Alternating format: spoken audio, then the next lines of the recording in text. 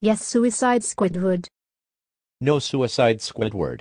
It's about the SpongeBob character Squidward attempting a morbid creepypasta suicide which is terrifying to SpongeBob viewers. That's it. You are extremely grounded. Go to your room right now. GRRRR.